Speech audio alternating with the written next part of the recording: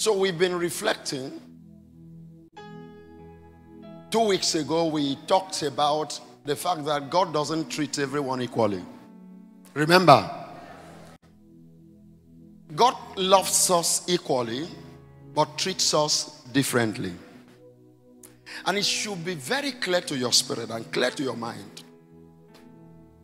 God loves us equally, without a doubt. But God treats us differently. That is what we talked about two weeks ago. Today, it is so difficult for me to give a theme, like a theme, a topic on my message. It's so difficult. It's just so difficult. So I decided to just come up, whatever it is, let it let it be. Sincerely, so so round, like I don't know what to do about it. But it is reflecting.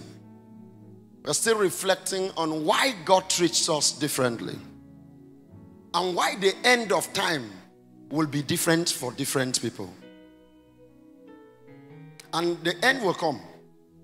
Whoever doubts that the end will come should find out whether his grandfather is still alive or great grandfather is still alive. There is an end, and there will be the end. There is an end to everything, every season, and everybody, and there will be the end, grand finale, the grand finale existence in this mortal realm. And so this season traditionally affords us opportunity to look at end, how they end, to do what the psychologists will call the pro, the pre-mortem. We know of post-mortem. Post-mortem, the medicals are very close with the to the post-mortem. Have you heard of pre-mortem? Okay, so you need to pay me a fee for me to explain pre-mortem. I, I borrow something from a man, is not a Christian writer, but I have been blessed so much by his writing. Stephen R. Covey, The Seven Habits of Highly Effective People, one of the greatest books I've read. Um, and he was a Christian. He's now late. He's, he's talking about principles that cannot be broken. He talks about the end from the beginning. Isn't that what God is? Who God is, how He sees things? He looks at things, the end of things from the beginning. So Stephen R. Covey gives us opportunity to reflect on the at the or on the end, right from the beginning, and talks about you sitting down here. Imagine your funeral. Just imagine your funeral. In the audience, a congregation attending your funeral. Imagine what the priest will say. And if you are married, imagine what your wife, in sincerity, oh, I don't mean the lies that we agree to tell when certain people have died.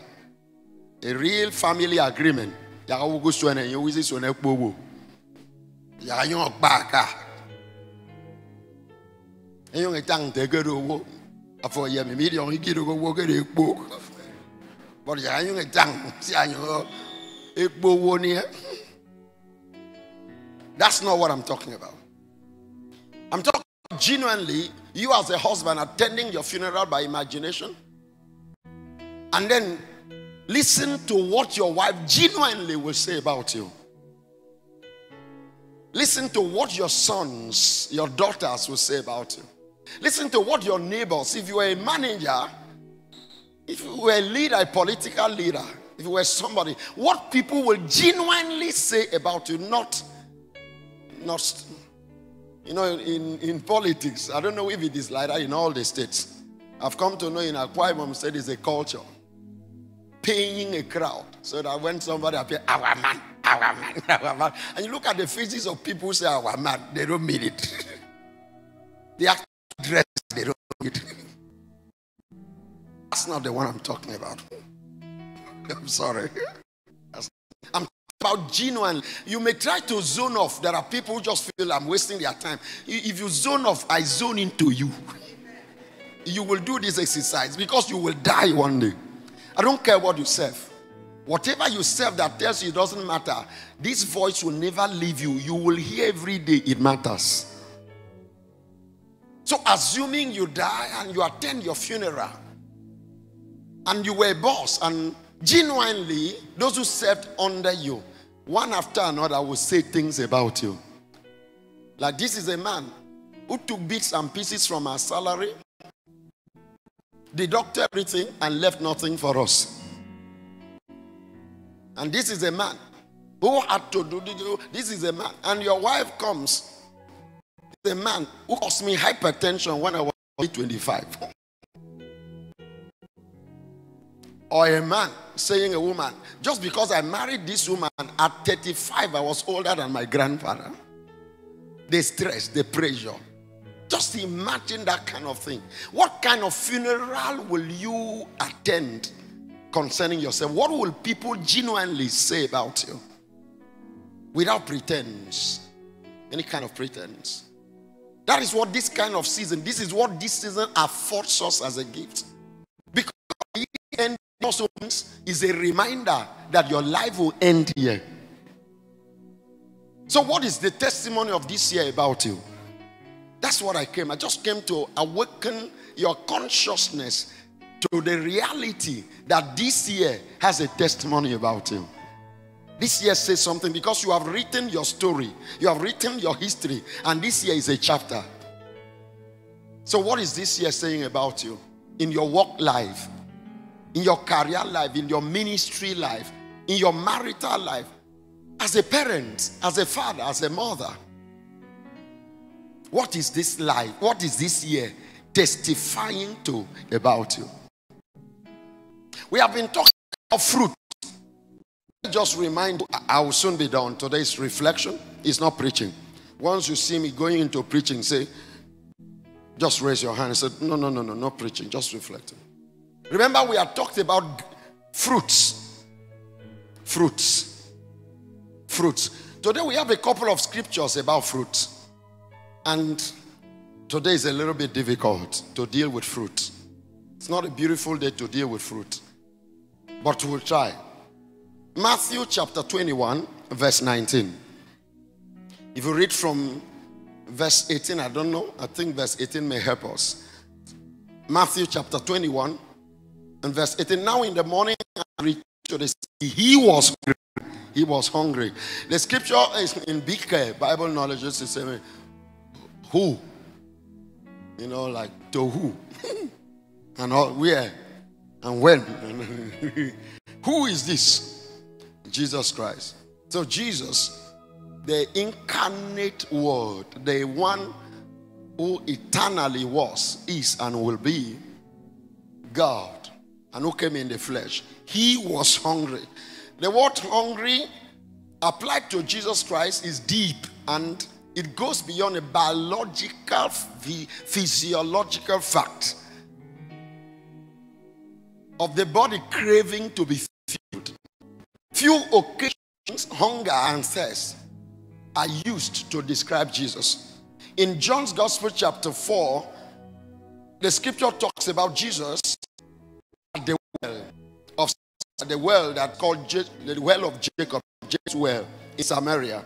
And a woman, a Samaritan woman, came to fetch water. The disciples had gone had gone to buy him food because he was hungry. He was weary of his journey. He was hungry. They, he, they went for food. But as the woman came, his hunger was satisfied.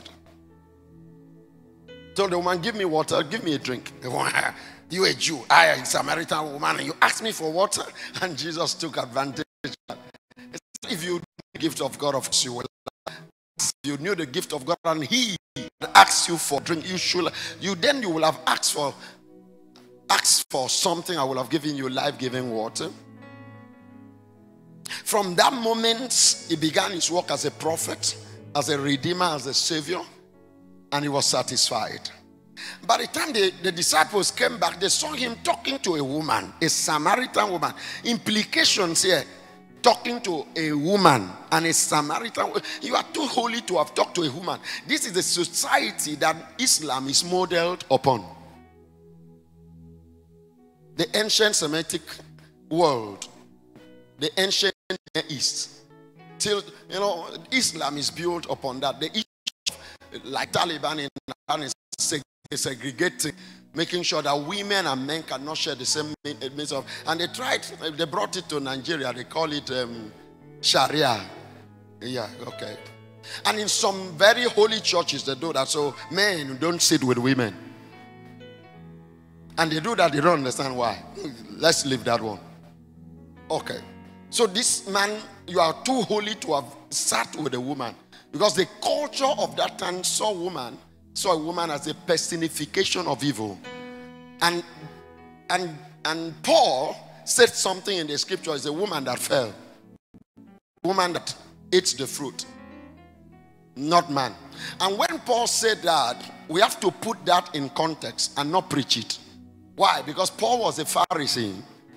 And as a Pharisee, he was the overseer of the execution and implementation of this understanding of life that men and women should not be together and holding against the woman and every woman whatever happened with Eve in the garden. And of course, you know, in Christ, the scripture says there is neither male nor female, neither Jew nor Gentile, and um, everyone is is, is, is in Christ and is, is, is one in Christ. Every Christ. So, coming to see Jesus, the disciples had this mental structure that gave no room for the Savior, this Holy Son of God, to have any form of close interaction with the woman. And this woman is not just woman, this woman also is a Samaritan woman. And the commentary in John chapter 4 at that spot is that for Jews had no dealings with the Samaritans. But Jesus guys went on and on and on. And they began to wonder could somebody else have brought him something else, something to eat? And they asked, Lord, come and he said, No, I have food to eat. You know nothing about. So in the scripture, it says he was hungry. Let's go back to that uh, first scripture. Now, in the morning, as he returned to the city, can you read the next with me? One go. He was hungry. So you understand here that this is a, hung, a kind of hunger that serves as an opportunity for something. He was hungry. Be, he was hungry for something beyond amala and will uh, beyond ekpang your tongue, and he was hungry beyond what you and I know to be traditionally useful when people are hungry. When God hungers, He hungers for salvation. He hungers for results. When the Savior hungers, he hungers for something deeper. It's very, it's very important. Let's move. Having understood that, let's push forward. He was hungry.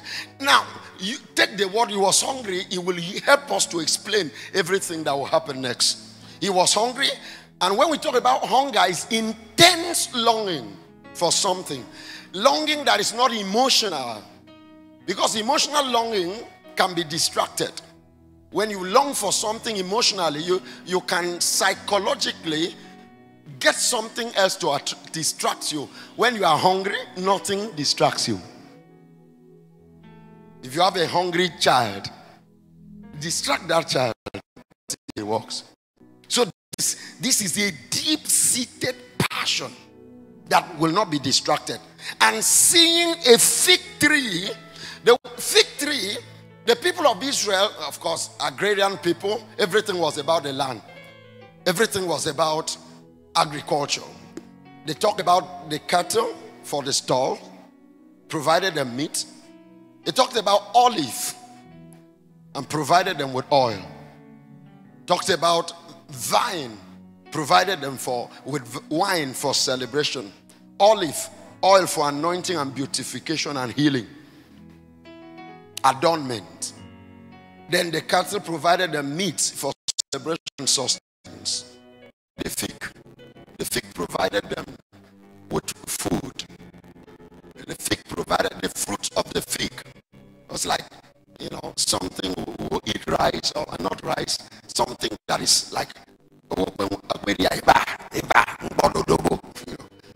so fig was very important for the fruit that he brought. Was supposed to bring energy, instant relief. So the fig here is very, very deep in symbolism. A fig tree, not any other tree. Jesus Christ was not looking for celebration. He would have gone to the wine. He was not looking for decoration and healing. He was not, he would have gone to the olive.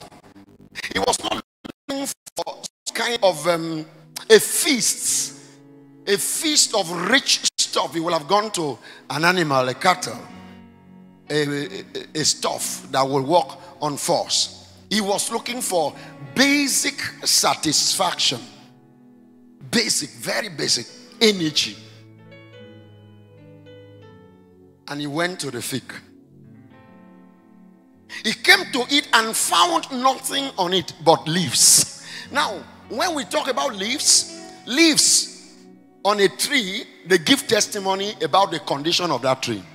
A tree in the desert will not have leaves. And if it has leaves, it will not be leaves that will attract attention. If, if you travel to northern part of Nigeria, the more you go towards you know, everything changes. And things get drier and drier. Leaves become more scanty and scanty. By the time you get to Kano and you are thinking about crossing the Yon, you begin to see large, large, vast expanse without green, without leaves. You may see trees, but they are trees that just have branches. Some very ugly trees. They are not very beautiful at all. Any no leaves. But this particular tree had leaves. That means a testimony to the fact of nourishment. That provision had been given. That the tree was well fed. Come on, come on, we are coming. Is somebody following me? Praise God, praise God. I've said a couple of things, and each of them is intentional to draw, to paint a picture for you to know why Jesus will react the way he reacted. Because in these days of grace, grace mixture, people will say, Oh, that scripture, that was Satan. How will Jesus, how will God curse a tree? You see, people, people preach from myopia. Spiritual myopia. I think myop, myopia is short sightedness. You cannot see beyond the letter into the depth of revelation. And they have a lot of following because a lot of people, when it comes to spirituality, a lot of people are myopic. That's general. So myopia appeals to the myopic. I'm sorry. Just trying to explain something. But if you go deeper, you will. I'm just trying to let you see the, the, the graphic picture that attracts the response of Jesus. He found nothing on it but leaves so the question is that how will you have nourishment? How will you have everything that should make you fruitful? And you have no fruits except just the testimony. I have been blessed. That's the kind of thanksgiving that political office holders in Kenya. You see, when somebody is appointed something or um, well, election, whatever it is, has brought somebody to say, he we go for Thanksgiving. Thanksgiving. This Thanksgiving means you are giving testimony, I'm green.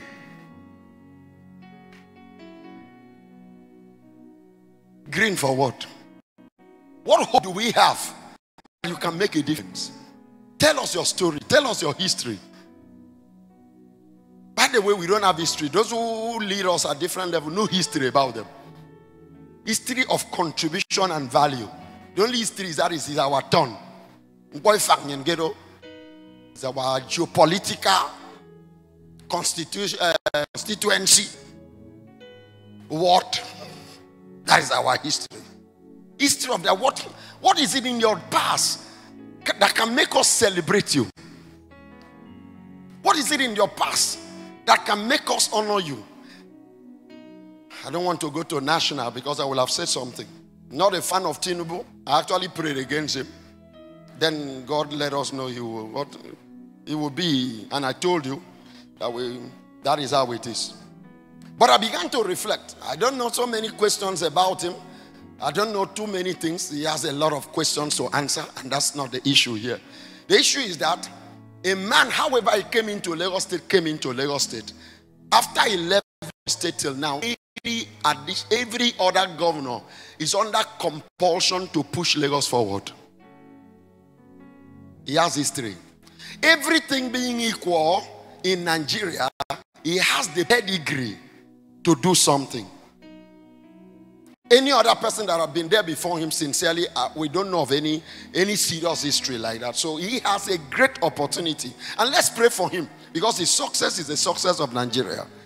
Because I grew up as a young man in Lagos, and by the time the man came, Fashola is a man who succeeded him that EFCC has not found anything against, and is still trying to be relevant. And so he has history. Let's pray for him because you can succeed in a corner to succeed in Nigeria is a very complex thing. For example, they just send people to Dubai. They send an entire country, entire country, 400 and something lazy people to go and feel, to go and feel Dubai. And some, okay, sorry, I didn't know. An entire nation, lazy people went and filled and did shopping on the bills of Nigeria. So we pray for him. Oh, oh God, do well. I'm sorry. You know me, I will not talk without those of you are new in my church. Ask Bobo. So this is how I am. Oh, it's not because you are here. I don't even know who you are, apart from my my people and all the friends that have come. I love you, by the way, in advance. Leaves so when we have office, when we are appointed, when we uh, say I'm a professor and we go and do Thanksgiving, professorship means leave. You have leave been dead. Many people started with you, died, and didn't get to that point. Many people failed. You were not the most intelligent. You favor has helped you. Health has helped you. Longevity has helped you. You have arrived at leave. There is something else, fruits Opportunities that you have in life is a testimony that you carry leaves. But of course, opportunities are not equal to prosperity. Prosperity is the positive result of opportunities. Leaves. So let's talk about the leaves that you and I have had during the year. You are sitting down here because you have had the leaves of health. If you have any kind of ailment, not crippling. Otherwise, you will not sit here. There are so many people who love to be in church today, just means of transportation, being able to pay fare today. For them, it's like traveling, traveling to India just to come to church. So you have the leaves of the provision enough for you to move yourself. These days of fuel being more costly than almost the breath that we have to breathe. You drove your car down here. Some of you, you are, you are not the one directly fueling your car. It's just that your car is fueled, leaves. Now, God is unyielding in setting fruit where there are leaves. God is unyielding. Is God is intense. God is intentional. God is passionate. Now, when the word says he was hungry, now this is intensity. Hunger is uh, another word for intensity. God has intense passion, intense desire. The one who has crowned you with health, the one who has given you intelligence and ability to study and to graduate and to have moved from one place to another, the one who you have cheated, you have done all sorts of wrong things, uh, and people's prayers have not killed you. You are still carrying leaves your mates in the crime you have committed they are in prison and you are not there. You are you are walking free. This and the point is this. God is passionately intentionally and intensely seeking for fruits because wherever there are leaves there should be fruit. Leaves here meaning provision all that is required for you to show up and to play the game of life in ministry, I've been blessed with, with leaves. The way I talk, when people come to my churches, when I'm up here at the altar, I'm fighting till I'm going. Because we have to fight something. The only battle of life is battle against evil. Scripture says we are not wrestling against flesh and blood. So this is not about this man or that woman or this person or that person. We are wrestling evil that uses a man. Against wickedness that makes a man sit on the right of others. Battling against laws that makes a man rob a husband of the wife's the wife's peace. And all other things. And all other things. God is the God of fruits. So did we land? Did we land? And he's and said to it, ah, because he found nothing on it but leaves, nothing on it but beauty. Beautiful, well manicured and pedicured. Beauty well painted and decorated. Beauty well, well styled and well fed. Old but fresh. Young and beautiful. Intelligent and educated. Excellent and opportune. And he said to it, You have leaves, but I have found nothing else. Found nothing of benefit. Now, before we talk about the, what Jesus said for finding nothing, let's go back to the meaning of fruit. We have done these studies. The word that is translated fruit in the New Testament, of course, the New Testament was written in Greek. So every word should go to the Greek word and will give you will give you opportunity to see bits and pieces of it to make it clearer. The word for fruit is karpos. K R P O S. And it means, among other things, these basic things. Fruit means benefit. So when the scripture says, and he found nothing, take me back to the scripture, sir. When he said he found nothing, he found nothing on it. It means he found no benefit. The leaves had no benefit. And what is another thing? The media had captured this. Another thing for fruit. Another thing for fruit, descendant. So fruit is descendant. Descendant is what comes out of you, what descends from you. Everything of professor means tester. You have descendants. I was honored to have been at your inaugural lectures, and that the woman that moderated and introduced you was your protege, somebody that you became an ancestor to, a descendant. Amazing. In politics, descendant is not the fact that I anoint who will succeed me. Nonsense. Descendant is the benefit the nation or the state enjoys as a result of you. Here, people want human descendants and tell us sort of lies to have descendants and they don't care. They don't care about what effect it has in the polity and in the people. Nonsense. When we talk about fruit, is what has the state become? What has the nation become? Are our youths more hopeful because there have been a generation of leaders? What we have seen steadily is a decline in hope, is a, is a, a height, a growing height of despondency. I am unfortunate to live in a generation that Nigerians are proud of disowning Nigeria. And we lose the best of our brains. And there are men who own the wealth of Nigeria to rule us and who do nothing about it.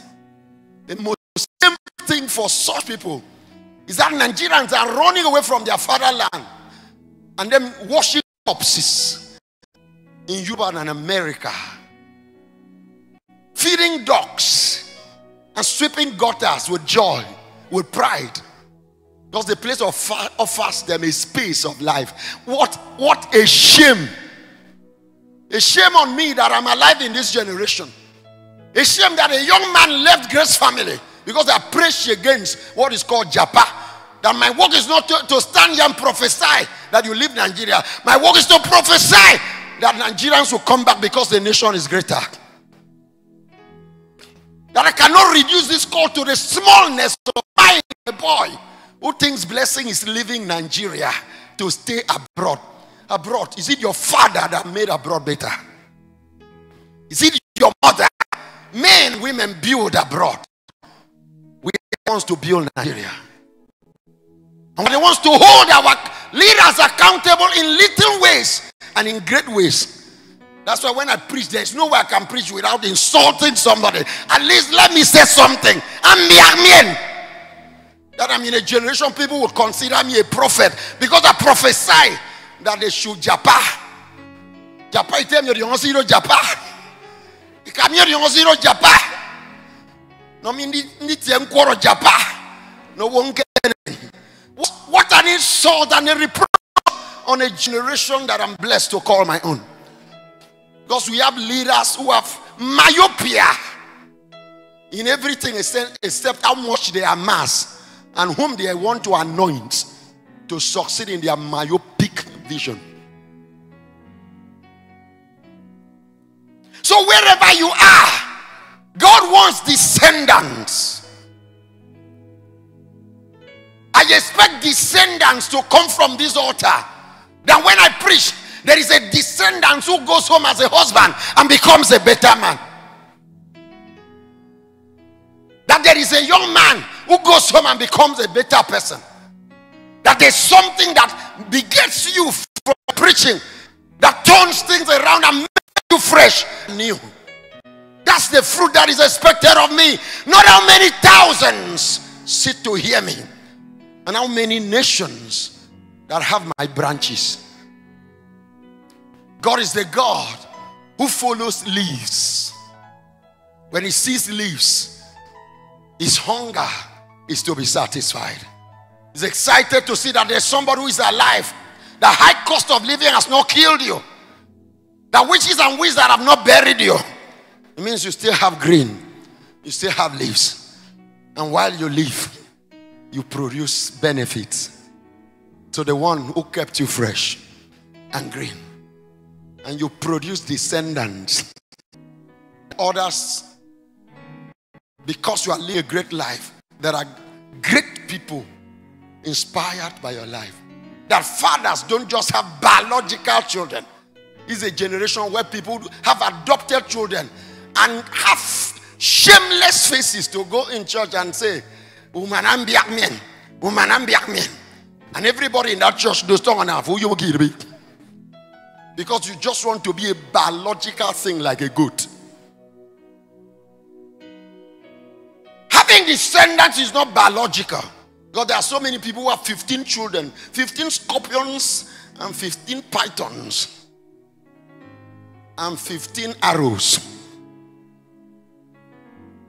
Descendant has to do with the value that is imparted. So if you adopt a child and give that child a life that the child will not have had in the motherless babies' homes and orphanages. You are a great ancestor and you have descendants. You have descendants in every area of life where there are there are leaves. There is hunger from heaven for benefit. God has interest in your life. God is a stakeholder in your office and his stake is about your fruit. What do you do with the office? So this year, we had prayed prayers protection, security, prosperity, all sorts of things, longevity. By the grace of God, as we come to the end of the year, whether all these prayers have been answered or not, one thing that is sure is that there are leaves. And the master when we call him Lord, the word Lord means honor. And DNA. The feudal lords were the owners of properties. And they gave them to the vassals, gave them to people to work. So when we say Jesus is Lord, is the honor of this life. And whether you accept him as such or not, the fact is this you are somebody's property. If you are not, tell me when you were born you knew when you were in the womb. Tell, tell me what happened to you on the first day of your birth. Beyond what you were told, tell me when the day you will die, and then tell me what will happen to you after you die. Then I will know you must be very, very great. But you have no no memory of your two years, of your first year, of your first moment. You know nothing. So you are somebody's property. No matter what you serve, God sent me to remind you as we end the year. What leaves have you carried through the year? And what harvest? Look at another word descendant, harvest. So fruit is harvest. Harvest is the result of seed. You are God's seed. Your health is a seed from God your protection and security. You are not the most secure because you have mobile policemen or women going around with your DSS overseeing you. You are not most secure because you live in an estate. You are not most secure because you are not most secure because you belong to a secret cult. People in your cult have killed each other, or rival cultists have killed them. You are here today because there are leaves and God wants fruit. Fruit of repentance first. Profit. I love this. So God is a God of profit. Produce. Proceeds. So when we are looking for a business to produce results at the end of the year, you are God's business. I am God's business. And God is looking fruit. Now, having heard that, let's move forward. And seeing a fig tree by the road, he came to it and found nothing on it but leaves and said to it, Let no fruit grow on you ever again. Immediately, the fig tree ceased to exist because the fig tree had no purpose. The purpose of leaves is fruit. The purpose of life is impact. Righteous kingdom impact. In the mind of God. Next week, I have a message while I was reflecting on this message, God gave me another message for next week because after next week is now Christmas, the last Sunday or the Sunday the 24th, and we now enter other mass. But this reflection, next week we have the second part of it is already there. The point is that the fig tree had something. You have no reason to live. You are a wasted project. Your leaves give me nothing. I have benefited nothing of it from you. So, your finances, what has it benefited God? Your health, what has it benefited God? Your office, what has it benefited God? Your marriage, you're raising children, you're being talented, you're being gifted, you're living long, you're surviving sickness, you're surviving disease. Whatever it is, what has it benefited the king, the kingdom? What benefit? What benefit? Say, let no fruit grow on you ever again. Immediately, immediately, immediately, the fig tree withered away. You're going to rise on your feet. I'm not permitted to go beyond that. I told you I did, I could not give could not give a theme to this. It defied all the theme. For media, call it a bad day for a green tree. Just call it that way so that you have something to reflect. The media, the message is a bad day for a green tree. A green tree shouldn't have a bad day, right? A living person shouldn't have bad luck. Bad luck is not having accident. Bad luck is living without having fruits for God, without benefiting God. So when you ask God, and God will say, wait a second, why should you live for another day?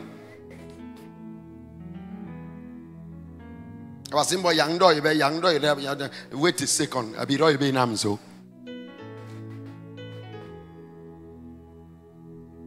But in notum, notum, notum, wait a second. I become to me so.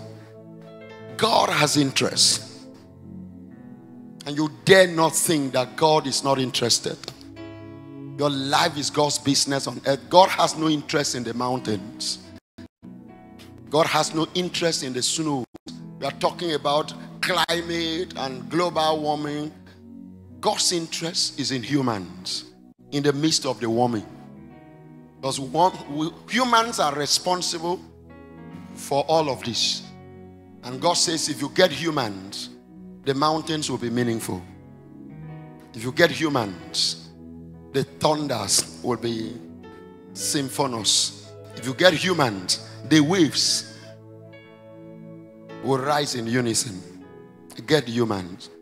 Because he said, Let us make man in our image and likeness.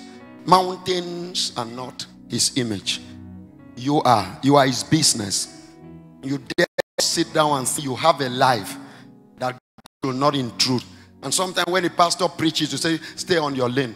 God, you tell you for us, yeah, me and don't do me now, man. And then we both again dumb for. I get all this me. Those who died in miscarriage, who are their wives and their husbands and their children? Who told you you were luckier than them? It's just because He spared you with leaves so that your marriage can inspire your children to have marriage. And this is the, the age that marriage has become non existent. We are confused about common, common denominator of humanity. We are not longer talking about marriage, we are talking about partnership. He's my partner. Means no commitment. That means humans have divorced themselves from basic things of commitment. And if God not to be committed to us, He told us of the love of God committed. The image of God is that we are committed. Marriage is not partnership, it's commitment. It's not something we just say my partner and like a law, a law firm with partners can go their separate ways any day they like. It's a commitment of life that brings about sacrifice, endurance. And you tell me you used to be a Catholic priest. Yes, I used to be, but I'm now married. And you tell me what is your own marriage? I'm learning. And I expect you to teach me. You have been there for a long time. Teach not only me, teach your children. Teach everybody. Let your life inspire somebody. Be, be an ancestor. Rise to your feet. Rise to your feet. I'm sorry, I will apologize after all of this. Because it looks like a lot of people are naked in this church. As I close my eyes, there are naked people everywhere. Naked, fruitful people without, and nothing other than that they live. God is saying, I will not say no one will find fruit because that's not the business for you. And I will tell you why. Next week, I will tell you why. So today, we are not concluding with how the gospel ends, we're concluding with being an ambassador, speaking in the word of God that you be reconciled to God. So while you go back to the office tomorrow and looking for every additional thing you will take home and cutting from everywhere and doing everything to take home, just know that your, your fruit is not what you eat. An apple tree does not eat its fruit. Pawpaw does not eat its fruit. Only we humans eat our fruit, make our manata.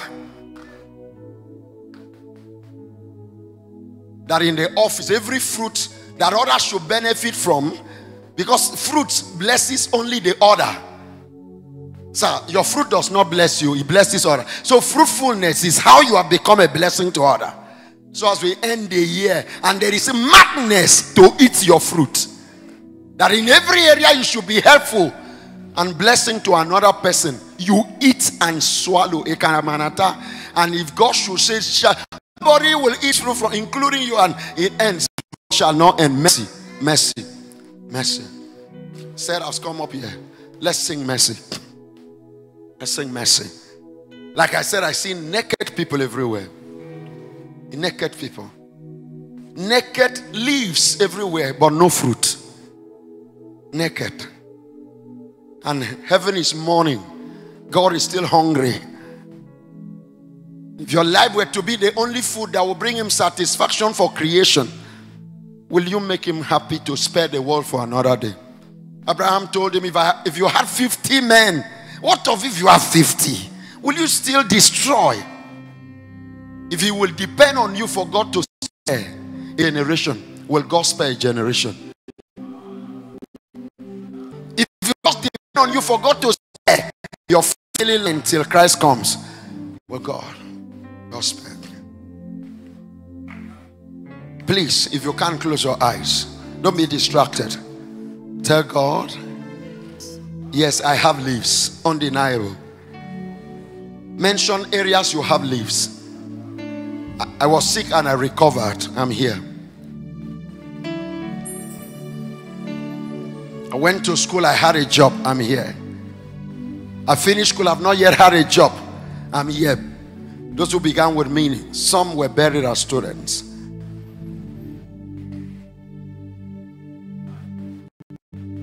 I'm not yet in school, but I'm here. Many people were born without capacity to study. I'm serving somebody as a driver, as a house girl, but I'm here. That is live. If you were born without hands or born with autistic condition and crippled, you will be nobody's house help.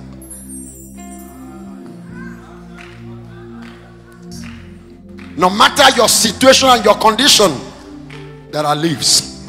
And the master is hungry. It's just hungry. Just hungry. It's hungry.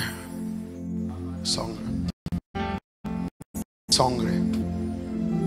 The master is hungry. The master is hungry. The master is hungry while you talk to God, tell God, you know, I've done many things that I shouldn't be spared. In the at the foot of the cross, where mercy paid for me, where the roar I deserve, it is gone, it is past. Your blood has healed I will kneel in the dust at the foot of the cross where mercy paid for me. Where the roar I deserve it is gone, it is past. Your blood has hidden to me. Mercy, mercy, as endless as the sea. I'll sing your hallelujah for all eternity.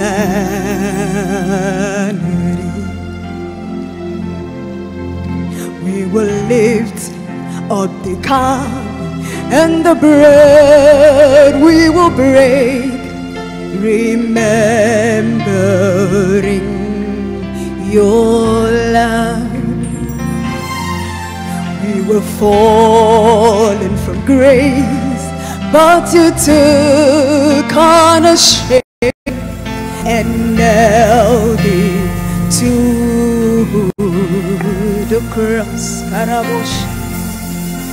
For mercy, God, your mercy is as endless as the sea. And I'll sing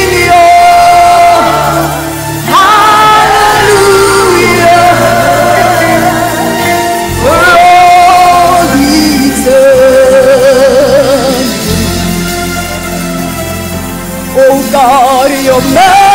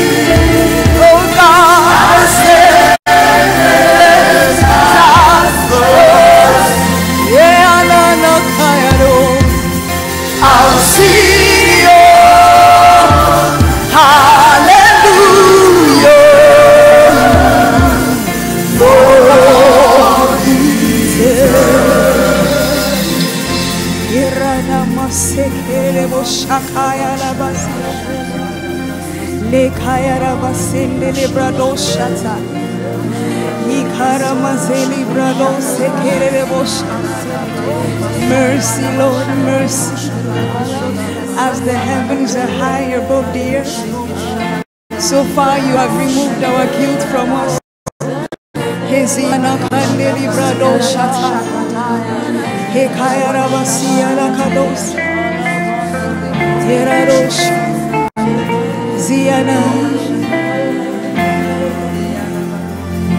And never lose the wonder Oh the wonder of your mercy. May I sing your hallelujah. Hallelujah. Us again. Oh, may I never lose the wonder.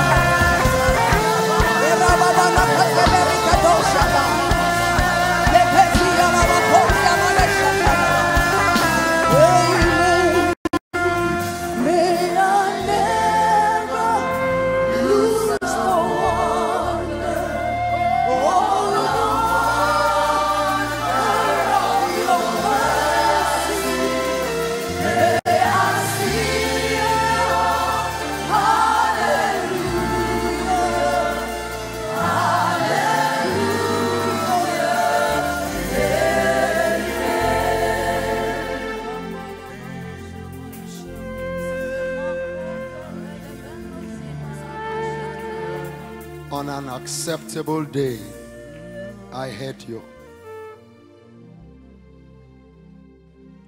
And today is the acceptable day. Everyone who truly turns to Him for mercy, His mercies are new today, no matter how wasteful and prodigal we have been. His mercies today new. If somebody can just turn their heart to Him, just call that name Jesus. Jesus means God will save. Jesus is a promise, and God keeps His promise. Jesus is a promise that God will save. So calling Jesus is challenging the faithfulness of God.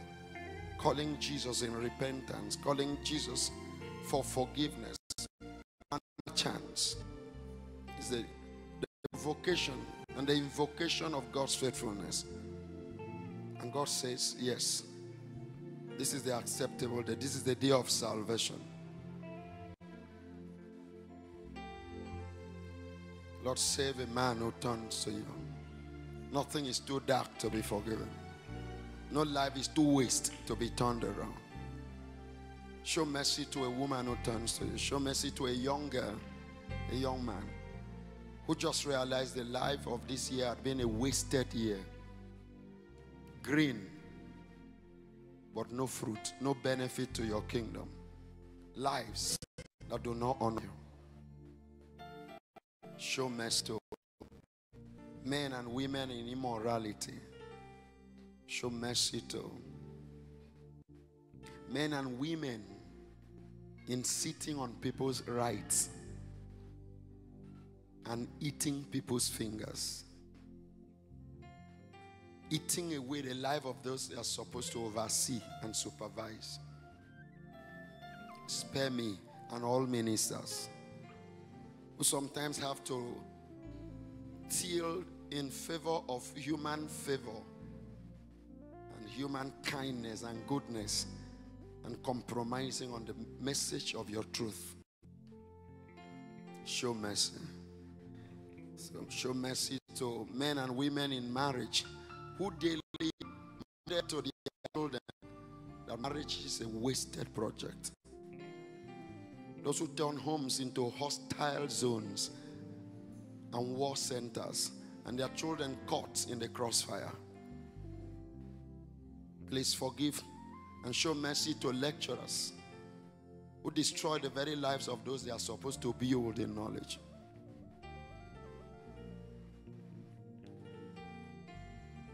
Please show mercy to those who use their offices to keep people as sex slaves for promotion and in furtherance of their career. Please show mercy. Show mercy upon us who have privilege, but use the privilege to build ourselves and ourselves alone and do not give fruit to benefit others. Please show mercy for selfishness, for reducing everything into our pocket and making the world as big as our desires. Show mercy. Show mercy to the church. We have a compromising church, a church that no longer has a voice, a voice that a church that can be bought and sold and paid for and silenced. Please show mercy.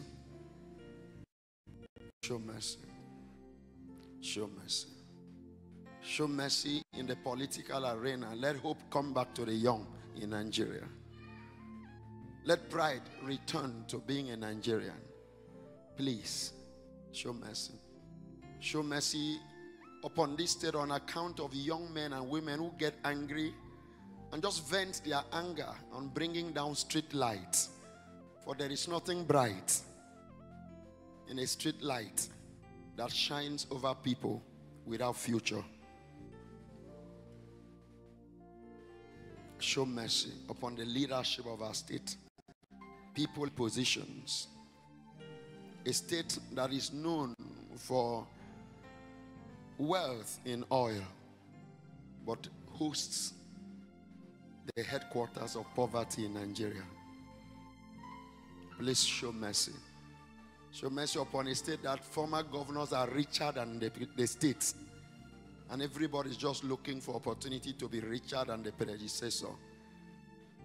And people are walking around in hopelessness. Show mercy. Show mercy upon our culture that fathers literally sell their daughters and make sure that those who marry their daughters will have no life after marriage because they die in order to marry. Show mercy.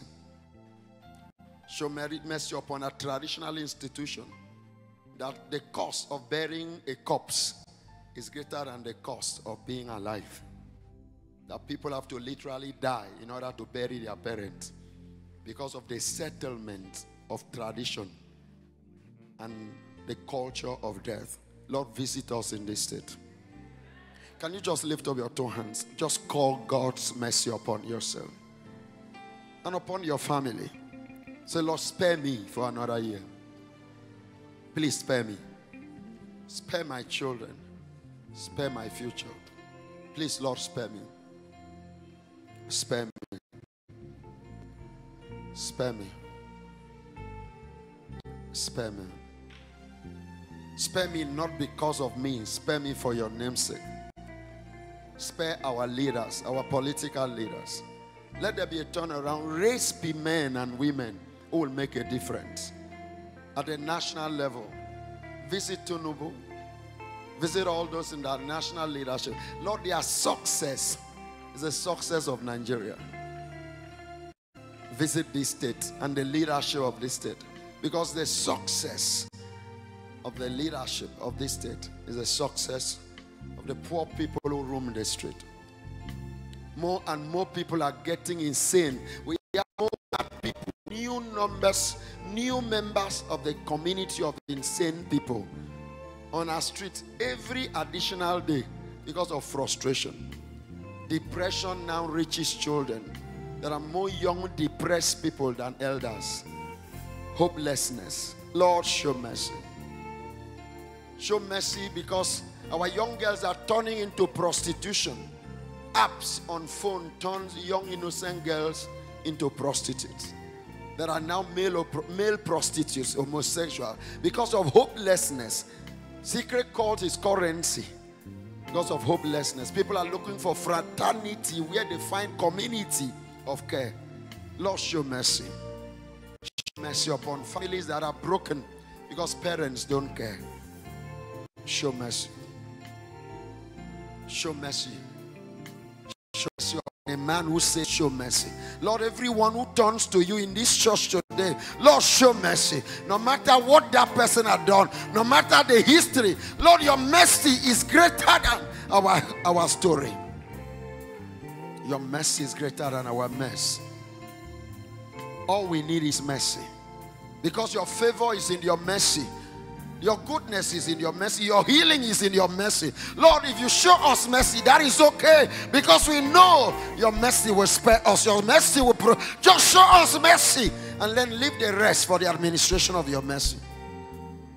And we shall be restored. We shall sing again and we shall dance.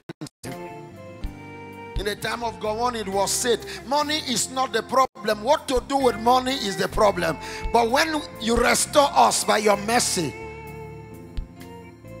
money will not be the problem. And what to do with the money will not be the problem. Thank you, Father.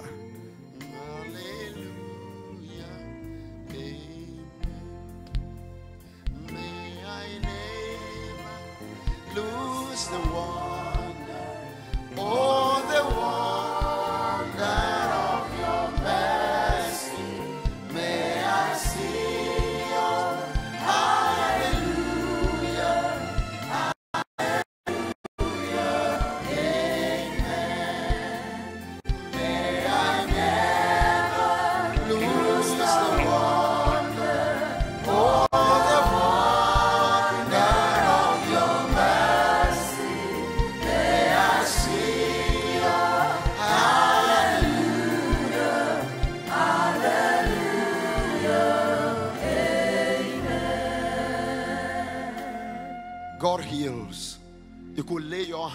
part of your body. You could close your eyes while you hold your stuff. A young girl, a young woman in the school of the Holy Spirit sat in my office yesterday after our session. Tell me what God has done for you in this school. Say, before I talk about this school, I used to have asthma, terrible asthma. And I had inhalers that will not last for one month. And one day on radio, because I listen to it every Wednesday, on Grace and Inspiration, you say, lay your hand wherever it is. And I just laid my hand on my chest and cried.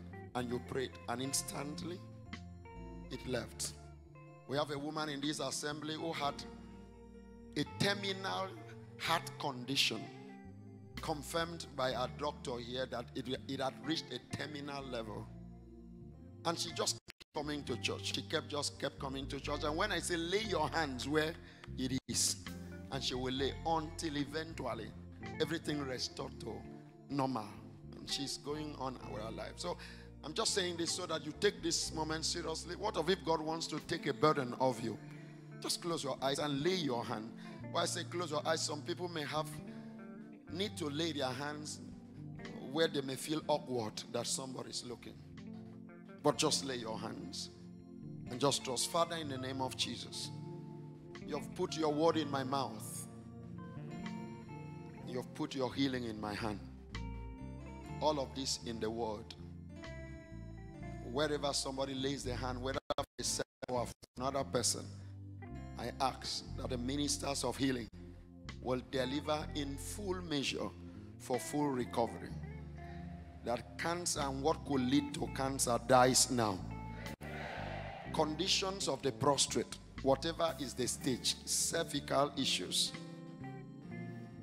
brain issues, spinal spine issues, internal organ issues, blood issue, blood, blood pressure, blood sugar, whatever it is, low blood pressure, as somebody lays hand, Father, at the certainty of the resurrection and by his stripes, we are already healed. I declare that these ones are healed in the name of Jesus Christ. Somebody who has been billed for surgery but has been looking for money, gathering money forever. I am making an assurance. It's a promise. When you go back for check, the doctor will tell you there is no need for surgery in the name of Jesus Christ. Thank you, Father, for taking away the reproach. The reproach that has followed somebody through the years. And you have told us in this house there shall be no carryover. So that today we mark the end of a particular trailing, trailing reproaches. Things that follow people and make new years into old familiar years. It ends now in the name of Jesus Christ. Somebody who has issues with breathing. Sometimes it just comes and you're just breathless and gasping. And it comes just sporadically. You cannot predict it.